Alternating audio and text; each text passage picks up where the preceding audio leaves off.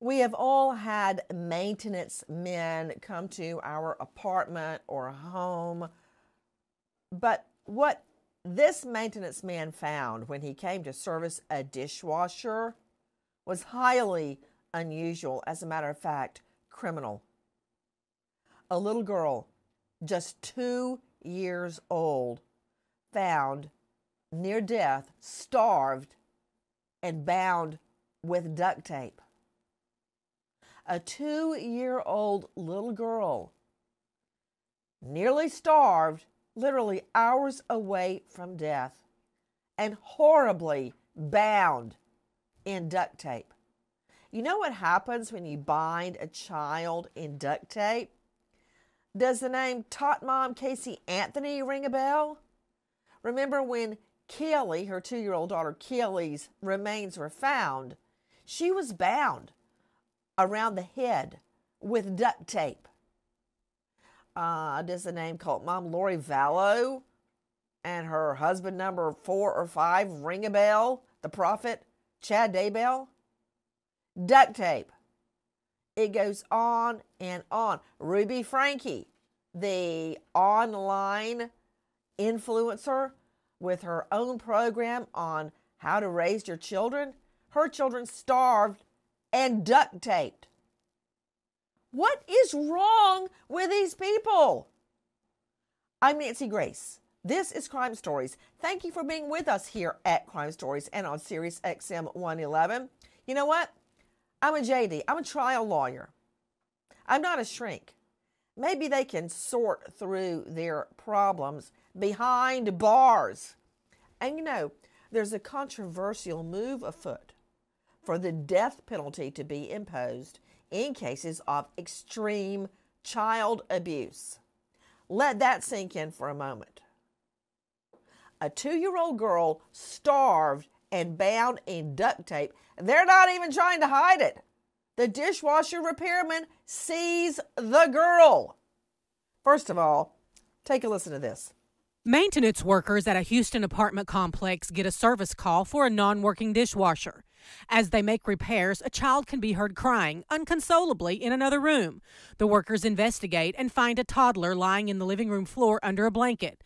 Lifting the blanket, the two year old child's limbs are duct taped together. The workers take photos and videos, leave the apartment, and call Houston police. Okay, you know what? I'm so distraught about this. I need to hear that again. Take a listen to our friends at Crime Online. Maintenance workers at a Houston apartment complex get a service call for a non working dishwasher. As they make repairs, a child can be heard crying unconsolably in another room. The workers investigate and find a toddler lying in the living room floor under a blanket. Lifting the blanket, the two year old child's limbs are duct taped together. The workers take photos and videos, leave the apartment, and call Houston police. I guess they were too afraid to touch the child, afraid that they would somehow be blamed for her condition. And it reminds me a, a, great deal of a case we're covering right now out of Ritzy, LA, where a, a famous producer's son dismembers his wife and tries to convince day workers to take the remains away and throw them in a dumpster. They were so afraid when they looked into the trash bag, they went straight to police because they were afraid they would be blamed. Same thing here. Uh, joining me, uh, an all star panel, but first I want to go to crimeonline.com investigative reporter Nicole Parton. Nicole, I'm going to just ask you a series of rapid fire questions, okay? Then I'm going to go to the other experts to explain aspects of what we are hearing right now. You're telling me the little girl's two years old, right? Yes. And she's near death. She's starved that much. It's not like she just went to bed without her supper. But the girl is about to die at age two. And they find her duct taped how? They're there working on the dishwasher and they hear this baby crying, like not just the baby upset, but uncontrollably crying, fighting for its life. They go into the living room and they see a baby under a blanket. When they lift the blanket, they, there she is, duct taped, her limbs duct taped. They see her emaciated body. She's hours away from dying. Thank goodness they take the videos and they take photos and call authorities. I don't know how medical professionals can determine you're just, quote, hours from death because uh, Nicole Parton, you have literally 10 children. Uh, when I gave birth to the twins, the doctor said Lucy would have died within 36 to 72 hours if we had not had an emergency C section. She was not getting any nutrition. She weighed two pounds. John David, her twin brother, was getting it all. I don't know how they can look at someone and tell, but guess what? They're almost always right. Uh, we have a medical doctor on, Dr. Harvey Castro, to explain that to us. But first, I want to go to Dr. John Delatorre very well known psychologist and mediator, especially in forensic psychology. You can find him at resolutionfcs.com. Dr. Delatorre, thank you for being with us. Dr. Delatorre, another striking aspect of this discovery of a two year old little girl duct taped and starved, they didn't really even try to hide it. The dishwasher repairman walks in and the baby is in the lying in the floor under a blanket crying. I guess in the next room. What is that? Well, you have to remember, these individuals are doing this because they don't see the child as being a human in any way.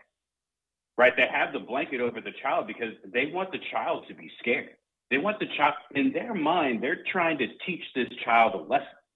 Right? It doesn't matter if they have any family relations or anything like that.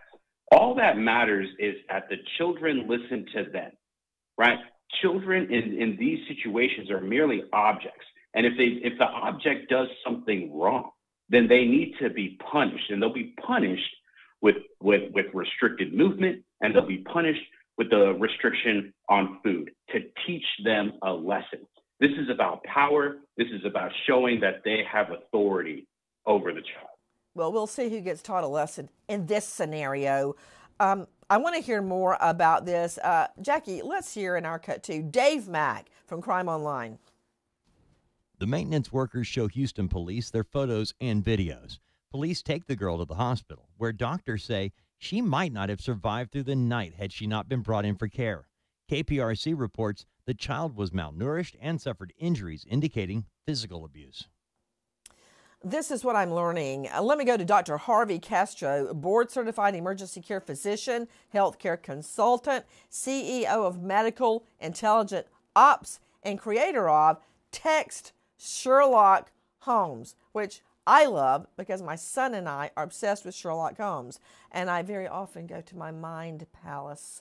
Um, Dr. Castro, I want you to hear what I've learned about the injuries to this two year old little girl, 24 months old.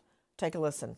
The two year old girl was found with her feet duct taped and was determined to be nonverbal and suffering from physical abuse as well as psychological abuse and neglect. Doctors discovered she also suffered a brain bleed caused by head trauma, anemia, and kidney failure as a result of the abuse. Even though she is two years old, the victim is so malnourished her weight is equivalent to that of an average one year old.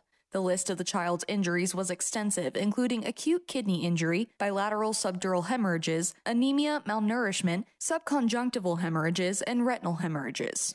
You know, Dr. Harvey Castro, hearing Sydney Sumner from Crime Online apparently read off from a medical report reminds me of going to the medical examiner's office. And of course, they would all hide when they saw my beat up Honda, usually smoking from under the hood coming their way, let the blinds down, shut the door, because they did not want to go through every single word, which I had to do. It's like someone speaking Latin when you medical examiners start talking. No offense, I love medical examiners. Dr. Harvey Castro, my first question is how can you look at somebody and say, oh, well, they're going to be dead in 24 hours? How do you, it's like the weather. How do you know that? Yeah, honestly, it's our clinical gestalt after being uh, seeing so many patients, think of it, we probably see thousands and thousands a year. And then walking in a room, you can tell um, color of the skin, if they're anemic, um, their vitals too, uh, how their heart rate, uh, how they're acting. Um, often within 30 seconds, you can walk in and say, yeah, this, this person's not going to make it, or this person's going to be hospitalized, or, or we need to jump on these things quick because this person's not going to make it. Wow. That was a lot of information, Doctor. I'm trying to digest it, but it reminds me the twins are constantly asking, How do you know when people are lying? Well, because I put, oh, I don't know, five to 8,000 people under oath and watched them lie. Uh, I certainly haven't taken a class in it, but I can tell most of the time.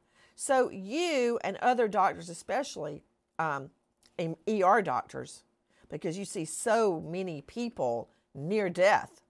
It's not like going to the dermatologist, right? Um, no offense to all you dermies out there, but they took one look at this little girl and went, she would be dead in 24 hours. That's what they said when Lucy was born. They looked at her and said she would have been dead in 36 hours max. But the, the injuries, specifically, Dr. Castro, the one that concerned me the most a brain bleed caused by head trauma. That's not just bumping your head. That's being thrown against a floor or hit with an object. That and what we learned about the kidney, acute kidney injury. What is that? That's now again, I'm just a lawyer, but when you have acute kidney injury, and I don't mean kidney ailment, kidney illness, I mean kidney injury I've only heard of that from someone getting punched or kicked or beaten and it hits the kidney. Yeah, exactly. And and the fact that she's malnut uh, the malnutrition's there tells me she's probably not getting any water, and that's another way of getting kidney disease is just simply uh, neglecting any Wait, water to a child. Kidney disease and kidney injury don't sound like the same thing to me. Of course, I know nothing, but kidney no, disease I, I, I, and kidney injury sound like two different things. I agree. I think it was a combination of both. I think she got uh, unfortunately hit uh, to the brain where you see all these brain bleeds, and then she was uh, possibly maybe been suffocated because there is some subconjunctival hemorrhage in the eyes. Hey, and then Doc, slow down, the... slow down. Sorry. Sorry. subconjunctival hemorrhages. Is that the petechiae in the eye? Is that what that is? Yes. The yes, little bitty yes, blood exactly vessels that can just pop if you have high blood pressure or if you bend over or for all sorts of reasons.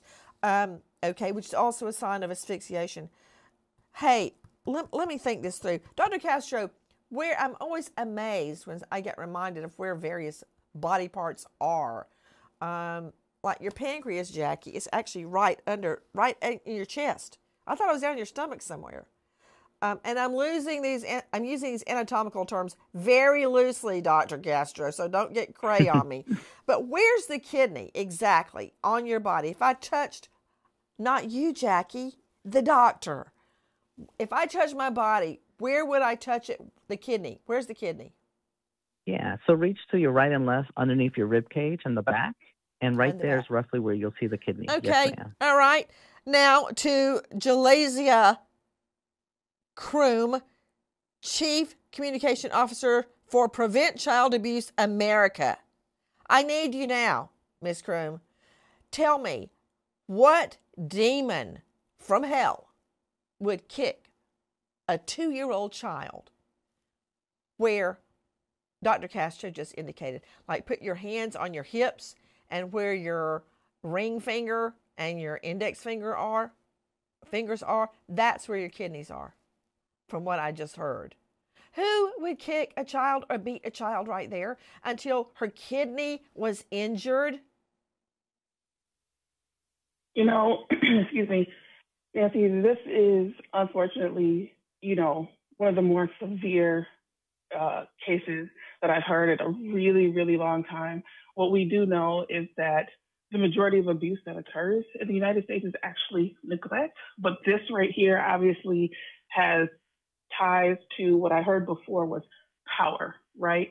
And so if you start thinking about what someone else's trauma is, and this is not a get, get out of jail free card. This is simply an opportunity to discuss prevention, right? So that's really the space that I'm here to talk about it today, where it's what happened to this family? What happened to these children long before this situation occurred? And, and what are some things that we as the community should be looking out for to prevent this from happening in the first place. So we all know about adverse childhood experiences and how that can impact parents who uh, caregivers who eventually have families to look out for. If they've not addressed the challenges and the adverse childhood experiences that they've had before, then that's what causes the environment for these types of things to happen. Not necessarily say that they are demons or that they don't love their children, but something has gone completely wrong and they've not received the resources that are needed up front to prevent these types of issues from happening. But it is Okay, hold on. devastating. Uh, Absolutely. Jalasia Crew, from what I'm getting from you, the people that kicked this child in the kidney, I think, that starve her dead, that bind her with duct tape, according to you, have had, quote, adverse, end quote, experiences in their childhood that they haven't resolved. Is that right? I don't know the full story, so I will say once we go further down, the question to ask. I won't say definitively, but the question to at least ask is to start there. What Okay, has got you. gone wrong? I understand. Yeah. Um, just so you know, I don't give a flying fig, and I'm substituting fig because I quit cursing for my twins. What happened to them? D- Meet her. I don't care what happened to them. Don't care. If something did happen to them, fine, and the statute hadn't run, I'll prosecute their abuser. But there is no excuse for what has been done to this child. No excuse. I don't care about anything other than what happened to this two year old girl. And I can't even tell you her name because that's confidential. But I know this didn't happen overnight because this child was starved. Back to you, Dr. Castro. How long does it take for a child to end up near death of starvation? You know, honestly, with the child, they have a high metabolism, so it's different from you and I that have more reserves. So honestly, if I had a guesstimate, I, I would say within two weeks. Two um, weeks. You a know what? child Two weeks at the minimum. Two weeks. And you want to tell me this is their first time at the rodeo? BS, Shellnut. Shellnut, listen, I know you're a defense lawyer now, but try to think back to the good times when you were with Metro Major Case for 27 years. If this child has been starved at the least for two weeks, two weeks to the point where she's about to die, this isn't the first time they've abused or starved this child. This is not the first time she's been duct taped. Get real, Shellnut. I know you're now a prominent defense attorney at shellnutlawfirm.com, but just speak the truth, okay? You're, you, you're not getting paid your big retainer fees to represent all your crack dealers and your killers and your mole- molesters. Just tell me the truth, just this time. Oh well, I, it, it is a hundred percent certainty that this is not a new situation. This is a situation that has gone on for some time. This little girl has likely endured abuse through much of her lifetime, most certainly the recent past. No, I agree with you 100%. This isn't new news around that place. Guys, there's more. Take a listen. Uh, and, and the first thing I want you to notice is that it took CPS, may they all rot in hell too. Uh, of course, I believe many of them are guided from the goodness of their heart, but somehow children keep ending up dead under their watch. They wait two days, two days with other children in the home, by the way. They wait two days to amble on over. Take a listen. Two days later, Child Protective Services responds to the apartment and meets with the adults and other children living in the apartment. The biological mother of the two year old girl lives in another state and left her daughter in the care of the child's 27 year old cousin, Toniesha Deshae Perkins. Perkins claims the other children living in the apartment often tie up the toddler and themselves. Further investigation reveals that Perkins' boyfriend, 23 year old Kenry Fluker, and the toddler's 17 year old aunt, Mya Jahar Breaux-McGruder, all live in the apartment with five other children. The other children appear to be in good health. You know who this is reminding me of? The so called influencer with millions of followers, Ruby Franke, who did her bizarre This is How to Raise Your Child podcast, and people actually bought into it. Eight million people were listening to this woman. Sounds like her, because when she was finally caught, she tried to blame her own children, claiming they were into porn as young as three years old. Really? Woman, shut up. Uh, Not only that, but the duct tape rears its ugly head. Take a listen to our cut 14 about the stars children. 911, the address of your emergency. Okay, and the phone number you're calling from. Tell me exactly what's happened. I just had a 12 year old boy show up here at my front door asking for help. And he's uh, said he just came from a neighbor's house, and we know there's been problems at this neighbor's house. He's emaciated, he's got tape around his legs, he's hungry, and he's thirsty. Okay. Is he? Is your door locked? No, I'm sitting outside with him on the on the front patio. Okay. And he asked us to call the police. What's so he's name? very afraid. He's 12 years old. The caller, the male caller, actually breaks down in tears, describing how emaciated the boy is and how he's got duct tape on each ankle and wrists and covered in wounds. Back to you, Dr. Castro. When you keep duct taping uh, someone, they ultimately get sores and wounds where the skin gets torn away from the duct tape. Isn't that true? Yes, ma'am. And then we have a natural barrier, which is our skin. And when you break that skin, even through duct tape, you're going to introduce infections. So, this is what we've got. The dishwasher repairman goes in. He finds his child hiding uh, uh, under a blanket. I don't know why she's under the blanket, starving, near death, and covered in duct tape. Um, this is what we learn from the other children that Child Protective Services, aka DFACS, they just decided to let the other children stay there for a couple of days, just test that out. This is what we learned from them. Listen. The other children in the home paint a grim picture. The other children say the girl sleeps on the floor and regularly removes the tape from her arms, legs, and mouth. The toddler gets popped when she removes the tape, and a lock has been put on the refrigerator to prevent the little one from accessing food.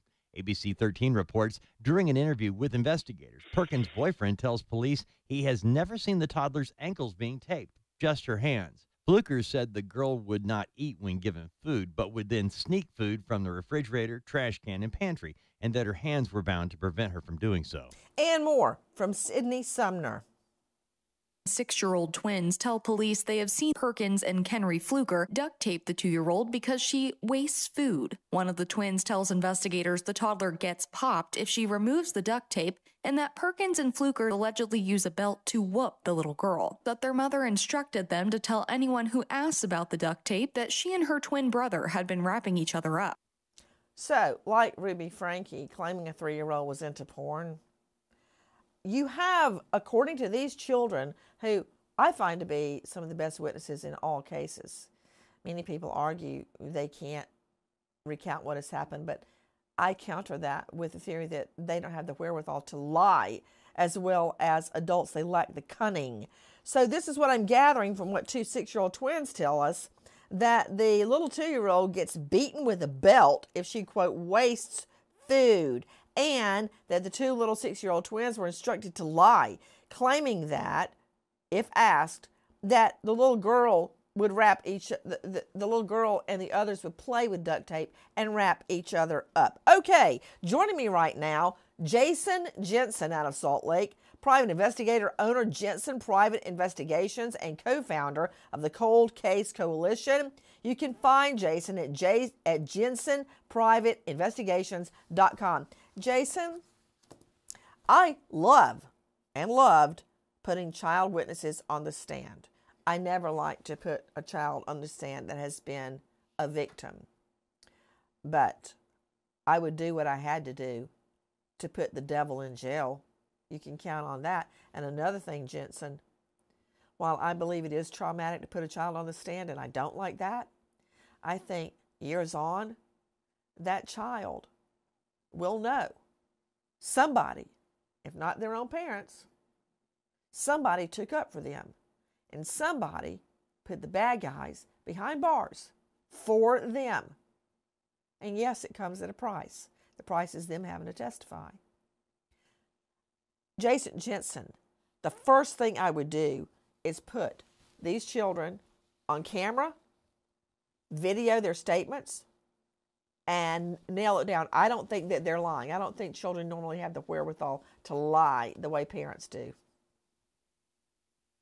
You know, Nancy, you're right about that. I mean, ch- children are resilient. If you put them in that kind of a spooky environment where they're not comfortable, put on the stand in a room with an investigator for an interview, it's temporary. They get over it. They usually I see in these CJC videos, they sigh relief when they get to leave. They got whatever's on their mind out in the open, and they can go on. So, yeah, they make the the best witnesses. I'm just thinking about how I would prove this case, how I'd marshal the evidence. Now, what about the bio mom? Just passing the little girl off to a relative and literally leaving the state. Take a listen. The mother of the abused toddler admitted to relinquishing care and custody and control of her daughter to Toniesha Perkins a few months before. KHOU reports Kenry Fluker confirmed the girl had been living there a few months. Fluker tells police the toddler's 17 year old aunt, Mya Jahar Breaux-McGruder, moved in with them about the same time. Fluker blames the abuse and neglect of the toddler on Perkins and McGruder. Back to Nicole Parton. Uh, I want to learn more about why this two year old girl was even in that apartment and who was supposed to be taking care of her. Her biological mother um, had said she couldn't care for her, didn't want her anymore, and had left her in the care of her cousin, who is Toniesha Perkins, the 27 year old living in the home. Um, the, the bio mom had moved on with her life, moved to another state, gotten a job somewhere else, and had relinquished all rights and responsibilities of her daughter, leaving her in the care of this 27 year old. I want to go now to Jalasia Croom joining us, Chief Communication Officer, Prevent Child Abuse America. Jalasia, thank you for being with us. Got a question for you. With so, I, I can count three adults living in this home. How can one or two of them stand by and do nothing when they see the third adult abusing the child? Doesn't that make them all part of it? You know, that's that's correct. They are all standing around. They are all they all do have a responsibility to this child, to this defenseless child. And my concern, as I said before, is that none of these people in this household have the resources that they need to make this right, to have fixed this. And I'm not saying again that this is where we should give a flying fig as far as what comes out. Hey, hey, but at the end of the what day, does that mean? They don't have the resources yes. they need. This is abuse. This is plain old mean, hateful, evil abuse straight from hell. What resource do they need to know they're not supposed to duct tape a baby and withhold no, they food should, they should? Definitely, they should definitely know that. But if they grew up watching the same thing, what about this two-year-old that almost died? What's going to happen to her when she grows up and she's never told and never given the tools to be a better parent herself when she grows up. The cycle continues. We need to break this cycle. Well, That's I know I'm that. I'm, I'm talking about this, case and these adults that did this, these, and they're all part these, of it. They're all part of it. I oh, 100% agree. 100% agree. I don't know what was going through their minds, and I don't know why they felt that this was the right the right way to discipline a child. But this child almost died, and they should they should I mean, do you really no think doubt. that they need some kind of education uh, in, in parenting not right to now. know you're not supposed to starve a two year old and put a Not put a right padlock now. on This the on the this fridge? happened long before. They, this should have happened long before. But if they were abused, what if they were abused when they were young? Things. This is a mental health issue as well. So the cycle continues because no one gives a flying fig that when they've been hurt. So the I've got a funny feeling you're going to keep saying flying fig. Uh, Because you didn't give me a chance to really explain what was going on. Because at the end of the day, it doesn't mean that they don't deserve punishment, but we got to look at what has happened to cause. What in the world would make a child think that this is this is the way that they're supposed to discipline a younger person in their family, in their well, own you family? said this is what would And make a been child on top of that. think this was okay. These aren't children; they're adults. Right. These are adults that that for whatever reason believe that this is the way, but at one point they were children. And so, for whatever reason, they didn't get the tools to understand this is not how you deal with your family. This is not what you're doing is continuing the cycle. So someone has Nancy, to stop Nancy, it. James, hey, Nancy, this is James. Hey, yeah, look, I was just it- going to ask hard- you, James, because that sounds a lot like the state having to determine motive. That I'm supposed to It- say, "Oh, pitiful them, they were abused," and I don't have any evidence they were abused at all. But Well, look, it- that's it's not irrelevant in a criminal case, Shelnut. It doesn't matter. I agree hundred percent, and it's not lost on me what she is saying that that past past abuses can can manifest themselves into that abused person's conduct in current time. That's well, not she's lost right. on me at all. But She's here's, right. I hear deal. her, and she's Here- right about the- that. Here's the deal. but I still don't care. No, the, I don't either. The resources they, they had were their hands and their feet. They could have picked that child up and left with that child, taken that child to the police station. They could have called 911. They could have unwrapped that child from that duct tape at any given time. It doesn't matter what resources were there or were not there. It doesn't matter what parenting skills they have. It's hard for me to believe that they did not have a basic common sense or basic morality of right and wrong to understand that this child is being abused and is likely going to die if I don't do something about it. To Dr. John Delatorre, psychologist and media and mediator, Dr. Delatorre, you know, ha- ha- have you ever been to the zoo? Yes. Okay. Then you've been to the snake house, right? Yeah. Okay. I go in the snake house and I hate snakes, but I look at them because you know what? There's a big, thick piece of glass between me and them. So in this case, I'm intrigued. I'm disgusted, number one. I'm angry, number two. And I want justice. A nice, long life behind bars sentence would start making me feel a little bit better. Dr. Delatorre, one thing I'm fascinated with, and I don't understand it, is the withholding of food, using food as a way to abuse a child. I mean, it's evil, but yet cunning.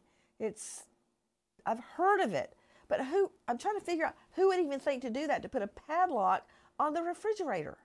Well, so when it comes to the food itself, right? Food is both a life-giving thing, right? We all need food just as much as we need water, right? And so I think what happens is they see that this child is not listening to them. The child isn't doing whatever it is that they want them to do. And so there is an aspect of suffering that must uh, uh, that must accompany this not listening to me. This uh, right because they're not seeing the two-year-old as being someone who clearly doesn't understand the world and clearly needs to be instructed. They're seeing the two-year-old as someone that's just not following the instructions that they are trying to give it. And because of that, particularly this not wasting food. And not wasting food is is is something that yeah you shouldn't waste food. However two year old doesn't understand that but the two year old does understand when you don't have access to it. The two year old does understand when it feels bad because it's hungry because it's starving because its body is literally eating itself in order to get the nutrients it needs in order to survive. And they watch this happen the, the, the, the adults watch this happen and they think they are teaching a lesson. But that's not what is happening here. That's not, they aren't teaching a lesson. They're, they've confused what they thought they were doing with being something that was actually necessary Dr. for the growth and development. I, I don't understand. As I was talking to uh, Jalasia Croom earlier um, at Prevent Child Abuse America, the adults standing by watching it happen, for all I know, they took part. They all took part in it. There's the also the unusual factor, which I've seen in so many cases, including cases I prosecuted, where there are several children, but one child is picked out to be mistreated the most. In my case, in- the cases I've seen, till the, the child dies. But it reminds me of the Holocaust, where the guards and the minders stood by and let the abuse and murder of millions of Jews happen.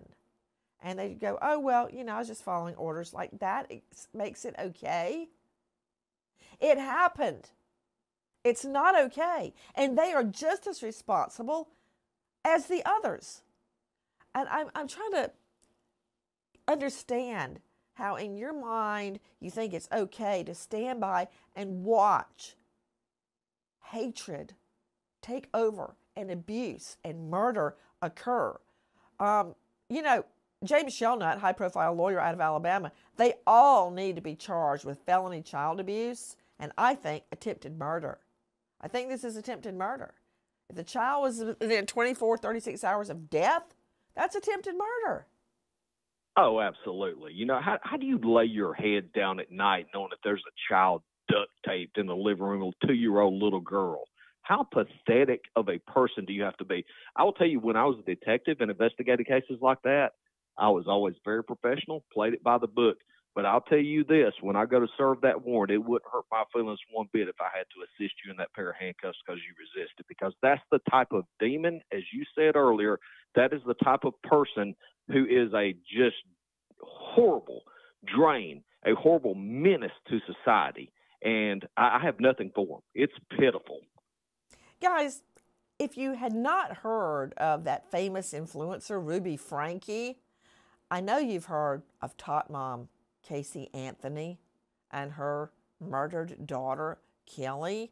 Take a listen to our cut 19 duct tape again. Dr. Jan Garavaglia, chief medical officer, said in court that Caylee Anthony had been put in two plastic bags, then put in a canvas bag, then thrown behind a rotting log a couple blocks from her house. According to the doctor, there were three overlapping pieces of duct tape over the lower aspect of the face, and that these pieces of duct tape were the smoking gun that something terrible happened to Caylee Anthony. In other words, it was no accident that Caylee died. And this case, the case in chief, reminds me of a horrific case we covered out of Arizona take a listen in our cut 21 to Chief John Meza. Mesa Police received a phone call uh, for call service to the apartment at 655 South Mesa Drive. When officers arrived back to the scene, they eventually made contact with our suspect. They entered the apartment and they located a three-year-old child inside a black trash bag. The child had duct tape over her mouth, around her arms, her hands and legs. The child was in terrible condition.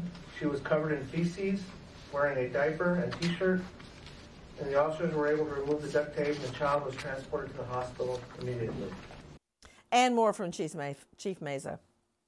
The suspect was interviewed by detectives and confessed to duct taping the child. And he said that he did it because he wanted to have sexual encounters with other people that he met online and wanted to keep her quiet. He stated the child belonged to a friend he has known for a short time. And he later identified the mother as the suspect was babysitting the child while worked, but admitted to leaving the child for several hours in the apartment while he was uh, also at work, leaving the child alone. You stop right there. The mother. So he was babysitting, much as in this case, and would duct tape the baby so he could go have sex with other people. Okay. And he actually gave that statement. I'm, I'm, I'm very confused. Let me go back to Jalasia Croom joining us from Prevent Child Abuse America. You know, isn't it the most bizarre thing when child abusers give their reasoning and it's completely incriminating, but they think it explains it all away? I agree. Um, like you, like you all have said, there just unfortunately there's no excuse, and there's not going to be anything that one can say to make it right or make the circumstances any less egregious. It's so sad. I mean, it's it's really sad, and and and like I said, you know, it's unfortunate that we can't have some sort of mirror, looking glass mirror to see what's going to come, what's going to happen. We don't know. We don't know why these things are happening.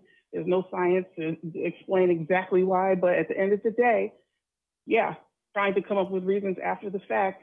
Yeah. No, let's get ahead of it, let's prevent it. But I, fully agree and I hear what you all are saying. And no, hearing these stories or hearing uh, people try to defend it, indefensible. You have to come up with solutions It- yeah, beforehand. I think that's what they're do. doing. They're trying to rationalize it.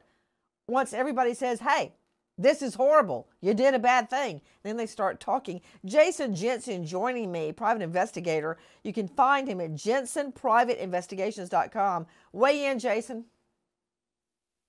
You know, Nancy, you know as well as anyone here on this panel that there is no substitute for for a mother's love, and for these surrogates to be doing what they've done, it really strikes a, a, a vision with me how you can look out, drive down the street, and you see a stray dog. Stray dogs are foraging for food. They knock down trash cans and things of that nature. That's what they're mad about this little girl doing because they deny her food. And then she goes, ventures off, try to feed herself, and she gets punished for it. That's just wrong. There's, there's no compassion. Another bizarre fact, Jason, is how often neighbors and employees find the children in these horrible circumstances that the abuser, I guess, thinks it's okay and they don't care if people find out. Take a listen to this story out of Houston, our cut 24. A maintenance worker at a Houston apartment complex, tasked with checking out a leaky air conditioner on an apartment, finds a boy with duct tape over his eyes and around his hands. The worker calls the apartment manager, who then calls police. Officers arrive to check out the story of the six year old with duct tape and find a one year old girl suffering from burns to her hands as well. Interviewing the four women who live in the home with the children, police find out that uh, Stephanie Garcia and Emily Zuniga say they duct taped the boy's hands because he had been fighting at school and they were trying to control the boy. stop right there. Uh, coming up with lies and stories, rationalizing what they have been doing. I've got a whole file of adults using duct tape on children, but I want to go back to Nicole Parton, who is really an angel on earth. She's not just crimeonline.com investigative reporter. She has 10 children, many of whom she has fostered and adopted. And we were talking, Nicole, about how very often you'll see abusive parents single out one child and end up like killing the child while the others seem to be fine. Yes, and this hits home for me. My my now adopted daughter, she's 10 now, but at the age of 3, her birth mother had targeted her. She had other siblings who were well cared for, but for whatever reason the mother targeted my daughter. She abused her, she neglected her, wouldn't feed her, and finally just abandoned her, dropped her off at the Miami airport. She was 3 years old, just left her there. My daughter still remembers being treated horribly, being left, having food withheld from her. She has scars on her arms where she was burned and taped. She too was taped up to keep her from finding food. Um, but fortunately, today she's loved and she's cared for and she's mine. This little girl, we believe, weighed 17 to 19 pounds at age two. Nicole, what's next in this case? We wait. They're being held um, on this half million dollar bond between the three of them. These charges are against them, and hopefully justice will be served. They can blame each other, but at the end of the day, they're all responsible. They all knew what was happening in that home. Kenry Flukers, Deshae Perkins, and Mya McGruder. Rot in hell after a nice long stint behind bars. I imagine you out on the yard looking up at the barbed wire, and I hope you remember why you're there. Goodbye, friends. Guys, thank you for watching Crime Online with Nancy Grace here on YouTube. To get the very latest, subscribe to Crime Online here